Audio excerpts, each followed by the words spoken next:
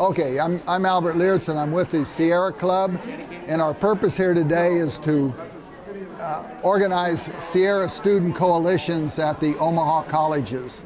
And uh, we don't have traditional volunteer work because there's no paid staff, but it would really be the students would be uh, running their own organization, putting up their own website, newsletter, doing political research on candidates, providing educational programs, hopefully some major workshops in the spring and the fall.